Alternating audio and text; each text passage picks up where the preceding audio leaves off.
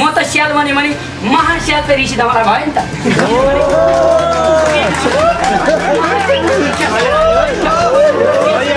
तपाईँहरू मोदीलाई चिनेको के अर्थ? अर्कालाई चिने के अर्थ?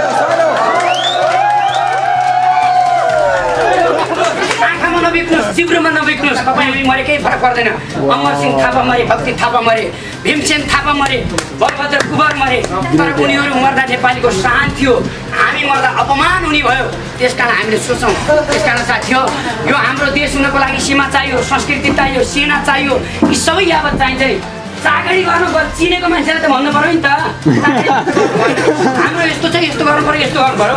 ऋषिले मलाई म ऋषिले मलाई अप्ठ्यारो पऱ्यो भने जनताले यी जीवन शर्मा हेर्नुहोस् त केही कमाउनु पर्छ दलाली गर्नु पर्दैन। राम्रो काम गर्ने ऋषि दमालाई तिन अरब दिन तयार छन् तर सिमानाको लागि डेन्जर तरिकाले अगाडि बढ्नुहोस्। अर्का देशलाई जोड्न हामीले हाम्रो सही तरिकाले काम गरौँ। नक्सै अर्का देशमा जाने भनेर त्यो मागी मागी खान लाग्यो। हामीहरू आफ्नो कोडी सुपारी तोडी गरौँ न। आफ्नै मान्छेलाई खुइल्याउन किन लाग्छौँ? आफ्नै पार्टीकोलाई आफ्नै साथीलाई आफ्नै सञ्चारले सञ्चार मान्दैन। हो कि होइन ऋषि दमालाई ऋषि दमालाई प्राइममा छ भने हिमालय टिभीको नाम लिन जात गयो जस्तो मान्नुहुन्छ। त।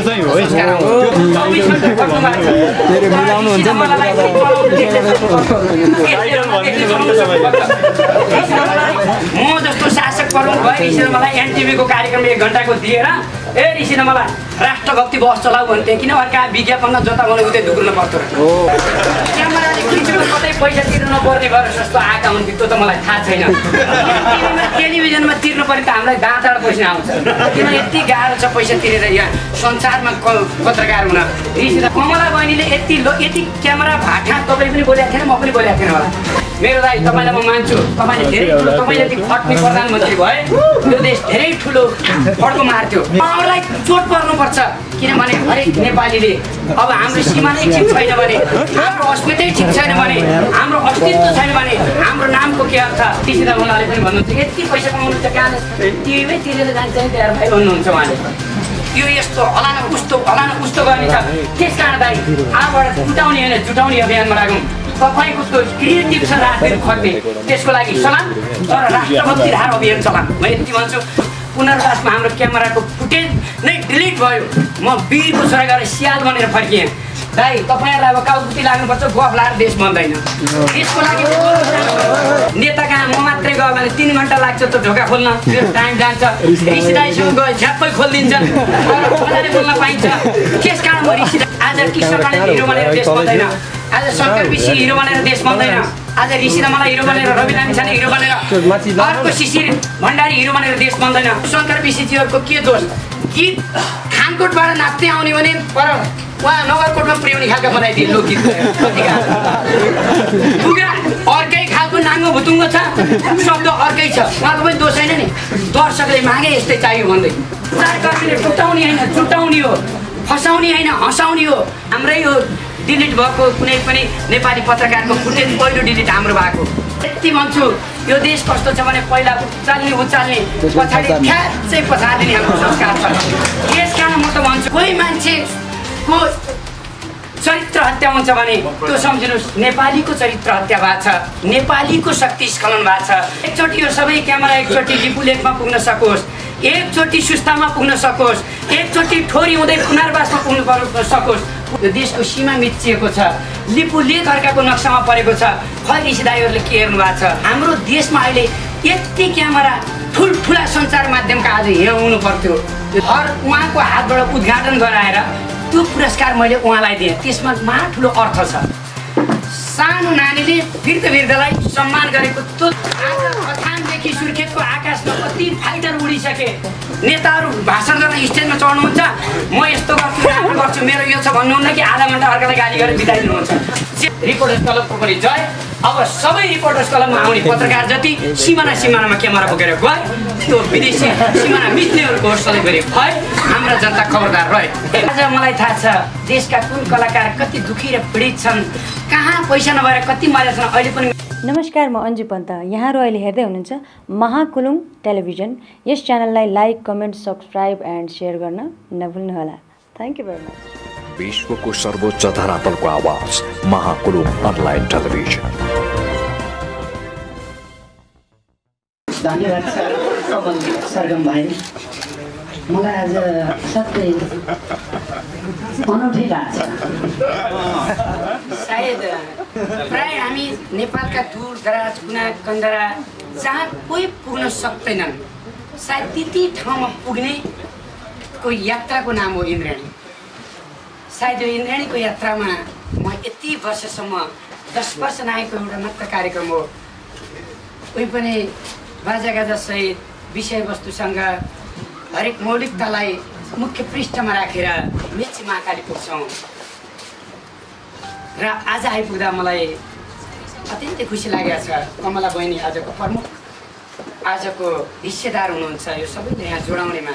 यदि कमलाको यो दमदार यो प्रस्तुति थिएन भने सायद तपाईँहरू पनि आउनु थिएन र उहाँलाई किन आजै गर्नुभयो यो किन बुकको नाम देखाउन लागि भनेर तपाईँहरूले सोध्नु थिएन त्यो किन आउनुभयो भने तपाईँहरू पनि आउनुभयो हामी पनि आइयो त्यो कारण केही छ।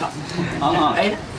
त्यस कारण कमला बहिनीलाई अहिलेसम्म मैले तिन पटक मात्र बोलाएको छु किनभने पढ्ने विद्यार्थीलाई पटक पटक बोलाएर भोलि दुई चार दिन हिरो हुने यो देशमा प्रशस्त भए दीर्घकालीन हिरो हुने मानिसको खोजीमा थियो इन्द्राणी निरन्तर सदा सदा अजम्बरी हुने योगदान र कीर्तिका लागि इन्द्राणी त्यो खोजीमा छ। त्यस कारण यस्ता हुनहार प्रतिभालाई दीर्घकालीन रूपमा यो देशलाई केही प्रभाव पार्ने खालि शक्तिशाली व्यक्तित्व निर्माणको खोजीमा भाग हुँदा तिन पटक आएकै त्यो यात्राले काफी संसारलाई यस्तो सन्देश दियो कि करोडौँ करोडौँ भ्युस मात्र होइन कि त्यसबाट अर्को सन्देश गयो। मैले सुरुवातमा राजु परिवार पनि राखेँ तिनजनासँग राखेँ। किनभने कुन लेभलमा उहाँ गाउन सक्नुहुन्छ उहाँको जुन बाहिर एकदम कमला इन्द्रणीमा जाँदै जाँदै जाँदै भनेर धेरै मिडियाले लेखिसक्नु भएको थियो तपाईँहरूले होला। अनि त्यहाँबाट आइसकेपछि त अनि त्यसपछि अनि उहाँलाई ल्याएँ मलाई लाग्यो कि राजु परिवारसँग जुन प्रस्तुति गर्नुभयो अरूसँग गर्नुभयो उहाँ जतिको मैले अहिले अहिले सायद पुरानो पुस्ता र अहिलेको पुस्तामा मेरो जतिको रिलेसन भएको सायद नेपालमा जिउँदो पुस्तामा छैन भन्नमा अत्युक्ति नहोला। किनभने मैले त्यो भोगिएको छु। चाहे परिमल स्नेही हुन् चाहे पूर्वघाती लक्ष्मी जोशीहरू हुन्। चाहे महाशङ्कर देवकोटाहरू हुन् चाहे सत्यनारायण राजवंशीहरू हुन्। हामी मेची महाकालीको यात्रामा छौँ एउटा किनभने मलाई एउटा हरेक नेपालका कलाकारहरू हरेक क्षेत्रका साहित्य त्यो क्षेत्रदेखि लिएर सबैको याद थियो। त्यस यो कमला बहिनीमा मैले एउटा के देखेँ भने कन्फिडेन्स पनि के? अरूले सोच्नुपर्छ म कहाँ आएर जतिले गीत गाउनुपर्छ सायद म कहाँ आएर गीत नगाएको दुर्लभै हुनु होला। कोही कोही व्यस्तता भएर नआउनु होला नत्र आउनु भएको छ। इन्द्रणीमा नआएको लगभग दुर्लभै होला त्यति मध्येमा आजसम्म कन्फिडेन्स शब्द के गयो मलाई मतलब हुँदैन। तर कन्फिडेन्स छ नि। यो कमलामा जतिको मैले अर्को कोहीमा पनि पाएन। र स्वरमा राजु परियार मैले भेटेको। र कमला? घिमिरे।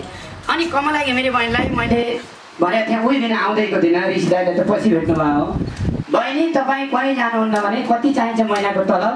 ए पैसा स्कुल गराइ म दिउँला भन्नुभएको थियो। उहाँलाई अर्कै आधार होला। न यति उति भन्नु भएन मैले दिन पनि। सबभन्दा पहिला ल्याउनु भएको चाहिँ अमृतजी भनेर केही पुरस्कार दिएँ। जसले सही मान्छेलाई सही ठाउँमा ल्याउँछ त्यसलाई पुरस्कृत गर्नुपर्छ राम्रोलाई भनेर। र त्यसपछि बहिनी जानुभयो दाइले पढाइदेखि खर्च गर्नुभएको छ। त्यसपछि मैले रु एक लाख नगद पुरस्कार दिएँ व्यक्तिगत तर्फबाट एक सय सात वर्षको बुवाको घर बनाइदिएर यो दसैँमा। यो- बहिनीलाई एक सय सात वर्षको चेपाङ बुवाको घर बनाइदिएर त्यो घर उहाँको हातबाट उद्घाटन गराएर त्यो पुरस्कार मैले उहाँलाई दिएँ। त्यसमा महा ठुलो अर्थ छ।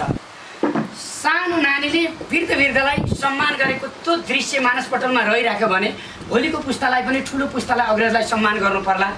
अर्को कुरो यति चाँडो त्यहाँ लाँदाखेरिमा धेरै समय नै गएन। कति साथीहरूले लेख्नु भएको छ कि इन्द्रायणीमा जाँदा जाँदा कमला त बिरामी भन्नुभयो त्यो तपाईँहरूले सुनेको कुरा या त शीर्षक बढी राखेर अलि हेर्लान् भन्नुभयो होला त्यो पनि ठिकै होला तपाईँहरूको दृष्टिमा। तर त्यस्तो होइन। इन्द्राणीमा एकचोटि आएर एक दिन गीत गाउँदै गाउनु भयो तिनवटा जति मैले रेकर्ड गरिदिएँ तिन त्यहाँ नौवटा गीत उहाँका रेकर्ड भयो नौवटा नौजनासँग अहिलेसम्म। म भन्छु तपाईँहरू यति धेरै पत्रकार साथीहरू यो रिपोर्टर्स क्लब हो। यहाँ सधैँ झगडा मात्रै परिरहेको छ तपाईँहरू देख्नु भएको छ कहिले मिलाउने भन्दा बहसै हुन्छ मलाई मेरो आदरणीय दाई यो तिहारमा मात्रै उहाँसँग मेरो एक ठाउँमा भएन। देउसी खेलाइमा नत्र एकदम देउसीमा रिसदमन दाईको मेरो एकदम सम्बन्ध हुन्छ। यो संस्कारको पर्व हो सबै एक ठाउँमा हुनुपर्छ। यतिखेर यति धेरै क्यामेरा भाटा कमला बहिनीले गाएको चिया छानेको गीत असाध्यै राम्रो छ। शङ्करजी आफै यो नेपाली गीत सङ्गीतको त्यस्तो हिरो मान्छे उहाँले निर्देशन गरेर नाचेको अब लेख्ने मान्छे रमेश विशीजी भन्नुभयो उहाँ झन् लोकसङ्गीतमा लेख्नको धुरन्धर व्यक्तित्व अब अमृत सापकोटा भाइ कति न्याय भएछ त्यो लेख्नेले दिनेले पनि अमृत भाइले कमलालाई चिनाउन लागि यत्रो मिहिनेत गर्नुभएको। यसमा अनि खेम सेन्चुरीजी अनि हाम्रो भाइ हाम्रो मालाश्रीको शम्भु भाइले मलाई बिहानै फोन गर्नुभएको थियो। उहाँमा अलिकति केही रहेछ किनभने ए यो टिम यहाँ कनेक्सन छ भनेर थाहा पाउनु र कमल सरगम भाइ। उहाँले मलाई हजारौँ पटक फोन गर्नुहुन्थ्यो ल है कमला ल्याउनु पऱ्यो ल्याउनु पऱ्यो भन्दै। त्यस कारण म के भन्छु साथी हो आज यति धेरै क्यामेरा छौँ। आज मलाई थाहा छ देशका कुन कलाकार कति दुखी र पीडित छन् कहाँ पैसा नभएर कति मरेका छन् अहिले पनि म केएमसीमा एउटा बुढो बालाई लिएर पैसा नभएकोलाई अहिले हस्पिटल भर्ना गरेर आएको छु। त्यस कारण म यति भन्छु हाम्रो देशमा अहिले यति क्यामेरा ठुल्ठुला सञ्चार माध्यमका आज यहाँ हुनु पर्थ्यो। यो देशको सीमा मिचिएको छ। लिपु लेख अर्काको नक्सामा परेको छ। ऋषि दाईहरूले के हेर्नु भएको छ? तर यहाँ कलाकारहरूले त यत्रो जुटाइसक्नु भयो। आज खथामदेखि सुर्खेतको आकाशमा कति फाइटर उडिसके? दाई तपाईँहरूलाई अब काउकुती लाग्नुपर्छ गफ लाएर देश बन्दैन। देशको लागि सञ्चारकर्मीले टुटाउने होइन जुटाउने हो। फसाउने होइन हँसाउने हो। सबैलाई मिल संसार भनेको समाजलाई बदल्ने एउटा अस्त्र हो। त्यस कारण साथी हो आज कमलालाई यो विश्वको हिरो वास्तवमा यो देशमा नयाँ जेनेरेसनले पनि हेर्न लागे। त्यस कारण पनि कमला बहिनी तपाईँलाई सलाम छ। यति भन्छु यो देश कस्तो छ भने पहिला उचाल्ने उचाल्ने पछाडि ठ्याच्चै पछाडिने हाम्रो संस्कार छ। त्यस कारण म त भन्छु मलाई कसैले पछाड्नु छ भने आएर भन्नु होला। कि दाइ तपाईँका यतिवटा गल्ती भयो तपाईँ सुध्रिनुहोस्। म सुध्रिन तयार छु। कोही मान्छेको चरित्र हत्या हुन्छ भने त्यो सम्झिनुहोस् नेपालीको चरित्र हत्या भएको छ नेपालीको शक्ति स्खलन भएको छ नेपालीको गरिमा हत्या छ। त्यस कारण साथीहरू एकचोटि यो सबै क्यामेरा एकचोटि लिपुलेखमा पुग्न सकोस् एकचोटि सुस्तामा पुग्न सकोस् एकचोटि ठोरी हुँदै पुनर्वासमा पुग्नु पर्नु सकोस्। पुनर्वासमा हाम्रो क्यामेराको फुटेज नै डिलिट भयो। म वीरको छोरा गएर स्याल बनेर फर्किएँ। त्यस कारण म त स्याल बने भने महास्याल त ऋषि धमला भयो नि त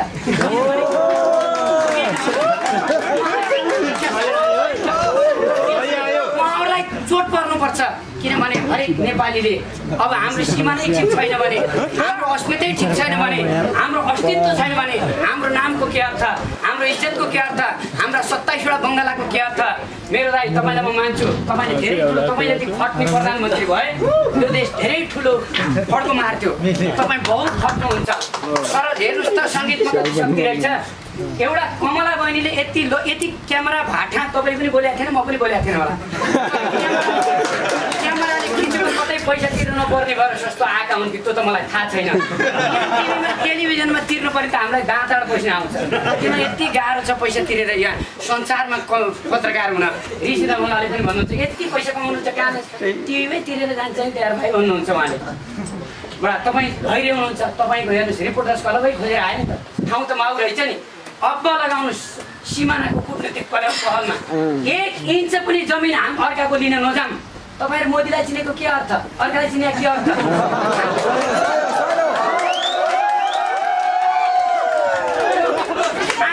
आँखामा नबिक्नुहोस् जिब्रोमा नबिक्नुहोस् तपाईँ हामी मरे केही फरक पर्दैन। अमर सिंह थापा मरे भक्ति थापा मरे भीमसेन थापा मरे बलभद्र कुबर मरे। तर उनीहरू मर्दा नेपालीको शान थियो। हामी मर्दा अपमान हुने भयो। त्यस कारण हामीले सोचौँ त्यस कारण साथी हो यो हाम्रो देश हुनको लागि सीमा चाहियो संस्कृति चाहियो सेना चाहियो। यी सबै यावत चाहिन्छ नि। हाम्रो संस्कृति भनेको प्राण हो। प्राणका लागि सबै जुटिया छन्। साथीहरू यही पनि किसानले यसो रिसेर मलाई भनौँ भनेर नहाल्नुहोस्। सम्मान गरौँ। चौबिस घन्टा खट्नु भएको छ। फेरि मिलाउनुहुन्छ नि त मलाई चाहिँ चलाउनु देख्दै म जस्तो शासक प्रमुख भए ऋषिले मलाई एनटिभीको कार्यक्रम एक घन्टाको दिएर ए ऋषिले मलाई राष्ट्रभक्ति बस चलाऊ भन्थे किन अर्का विज्ञापनमा जता मलाई उतै दुख्नु पर्थ्यो त्यस कारण हेर्नुहोस् यो देशमा प्लिज कृपया म यति भन्छु। आज कृष्ण कणेल हिरो बनेर देश बन्दैन। आज शङ्कर विषी हिरो बनेर देश बन्दैन।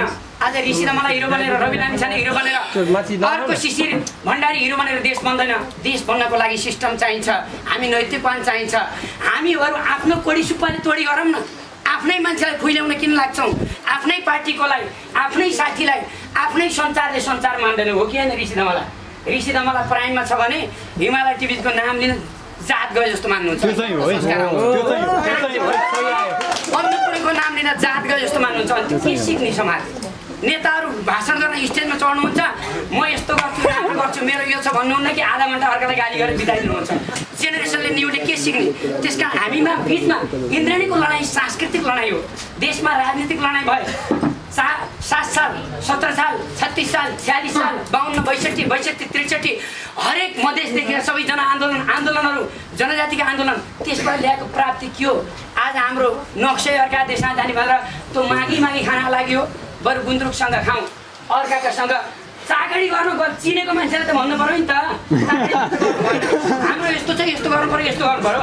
रिसिन मलाई म रिसिन मलाई अप्ठ्यारो पऱ्यो भने जनताले यी जीवन शर्मा हेर्नुहोस् त केही कमाउनु पर्छ दलाली गर्नु पर्दैन भन्ने कुरा प्रमाणित जीवन शर्माले गर्नुभयो नि त। जीवन शर्मा जब बिरामी हुनुहुन्थ्यो म टिचिङमा पुगेँ साथीहरूले भने कमल भाइहरू दाइ जानुहोस् भन्नुभयो।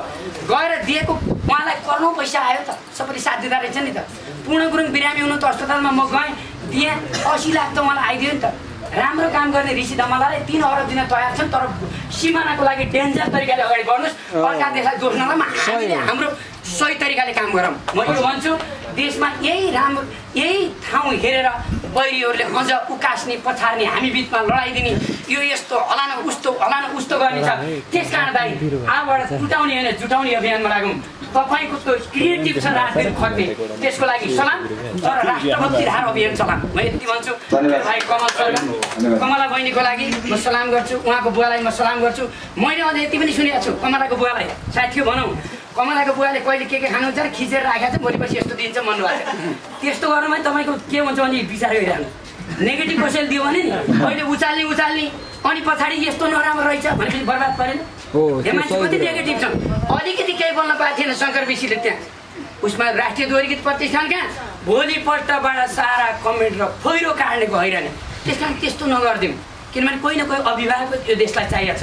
सबैको माया गर्ने म यति भन्छु आज संसार यति सजिलो छ। कहीँ खर्च नगरिकन भने जस्ता कुरा राख्न पाइएको छ। हामीले पोजिटिभ पोजिटिभ कुरा राखौँ। देशका नेता मिलाउनेतिर लागौँ। नेतालाई मात्रै गाली मात्रै गरे पनि दिमाग आउट हुन्छ। त्यस कारण राम्रोतिर अझ राम्रो बनाऊँ। खराबलाई राम्रो बनाऊँ राम्रोलाई अझ राम्रो बनाऊँ। म यति भन्छु कमला बहिनी तपाईँलाई धेरै धन्यवाद छ। तपाईँले पढ्न नि अस्ति आउनुभयो बद्रेजीसँग आउनुभयो मिलन लामासँग आउनुभयो पछिल्लोचोटि अर्को भाइसँग आउनुभयो। यति राम्रो उहाँसँग विकास छ। तपाईँलाई म यति नमस्कार गर्छु नानी। तपाईँ सानो उमेरले भए पनि नेपाली सङ्गीतलाई तपाईँले एउटा मोड फेरिदिनु भएको छ। पहिला मैले मौलिकतामा हिँडिराख्दा ऊ शङ्कर विषीजीहरूको के दोष? गीत खानकोटबाट नाच्दै आउने भने पर उहाँ नगरकोटमा पुर्याउने खालका बनाइदिए लोकगीत नाङ्गो भुतुङ्गो छ। शब्द अर्कै छ। उहाँको पनि दोष छैन नि। दर्शकले मागे यस्तै चाहियो भन्दै। त्यस कारण दर्शकले ठिक ठिक मागौँ।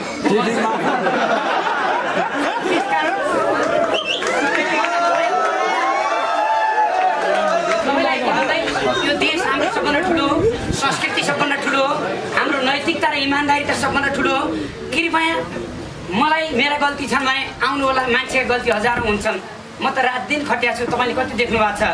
मेरो घर परिवारको लागि समय दिनेमा त म चुकिसकेका छु नि त। खै कतिखेर दिन्छु भन्नु? हिजो बाह्र बजे म स्टेज चढेको थिएँ इन्द्रेणीमा। रातिको नौ बजे थियो। कति बिरामी आउँदा छुट्नु भयो कति गाह्रो छ। तर देउसी आउँदा ऋषि दाईले टप्प सम्झिनुहुन्छ। गइन्छ। नेता कहाँ? म मात्रै गयो भने तिन घन्टा लाग्छ त ढोका खोल्न। त्यो टाइम जान्छ। ऋषि दाईसँग गयो झ्याप्पै खोलिदिन्छ। बोल्न पाइन्छ। त्यस कारण म ऋषि दाईलाई अर्को कुरो उहाँबाट मैले सिकेको त्यही हो। ऋषि दाई जति खट्ने र मजासँग यस्तो गर्ने तिनजना मात्रै देशको नेता भइदिएको भयो रात दिन। धरो धर्म कोहीले हाम्रो सीमामा अर्का नक्सा हाल्नै पाउँदैन थियो केही ठाम नपाइकन हाल्दैनन्। हाम्रै यो डिलिट भएको कुनै पनि नेपाली पत्रकारको फुटेज पहिलो डिलिट हाम्रो भएको। यहाँ यत्रो समाचार पनि आएको थियो। कृष्णकडालाई थुनेछ भनेर त्यत्तिकै लेखिदिएछन् हावामा राष्ट्रको कुरा। अर्का देशलाई बढी गाली गरेर पनि हिरो होइन कुटनीतिक पहल गर्नुपर्छ। माथिबाट बौद्धिक तरिकाले मिलाउनु पर्छ। हामी चारजना झगडा गरेर हुन्छ र हामी त आफ्नो आफ्नो बिचमा झगडा गर्छौँ। अहिले पनि देशको लागिमा सबै एकजुट भएर जो अस्ति प्रधानमन्त्रीले जुन ल्याउनु भयो आज बढी मैले सिमानामा किन फोकस भयो भने म लिपुल एकजना खोजेँ बिहान। दस बाह्र दिन लाग्दो रहेछ। ऋषि दाई कमान्डिङ गर्नुहोस् तपाईँ। दस बाह्र दिन त लाग्दैन यहाँबाट जानको लागि इन्द्राणीको गाडीमा चाहिँ यसो विचार गर्नुहोस् त। अर्को कोही लैजान्छ। मलाई विज्ञापन कसैले दिए कसैले केही गरेका छन् कोही दुखी गरिब चौबिस घन्टा काम गरेर मात्र पठाएको पैसा। नौ करोड त्रिसठी लाख त हातैबाट बुझाइयो दुई वर्षमा। हेर्नुहोस्। यहाँ पहिला कसले कति दियो भन्ने चलन थियो। मैले जस्ता तस्तै बोल्न लागेँ अब नैतिक सङ्कट पऱ्यो अब विचार गर्छ हेर्नुहोस् कि गरिरहनु पऱ्यो कि छोड्नुपर्छ सबै। त्यस्तो काम। त्यस कारण यति भन्दै मेरो कमला बहिनीको आमा उहाँलाई म धेरै सम्मान गर्दै यो जुन संस्थाले ल्याइदिनु भयो मालाश्रीले मालाश्रीलाई पनि धेरै धन्यवाद दिँदै तपाईँहरूले हुन त आजकल जमाना कस्तो पनि नेगेटिभ भयो। यसले कमाउन लागि रात दिनै गरिहाल्यो भन्नु होला। आजकल त केही गर्न घर यसले खाइहाल नगरे पनि चुप्ला बोल्यो बढी बोल्यो नबोले साला गमक त्यो कस्तो छ समस्या? त्यस कारण साथी हो तपाईँ हाम्रा हातका क्यामेराहरू राष्ट्रका लागि हुनुपर्छ नैतिकताका लागि हुनुपर्छ समाजको वृत्ति विकासका लागि हुनुपर्छ समृद्धिका लागि हुन्छ एकताका लागि हुनुपर्छ समाजलाई आमूल रूपमा विकास र परिवर्तनका लागि हुनुपर्छ भन्दै जय लोक सङ्गीत र रिपोर्टर्स क्लबको पनि जय। अब सबै रिपोर्टर्स क्लबमा आउने पत्रकार जति सिमाना सिमानामा क्यामेरा बोकेर गए त्यो विदेशी सिमाना मिच्नेहरूको सधैँभरि भए हाम्रा जनता खबरदार रहे।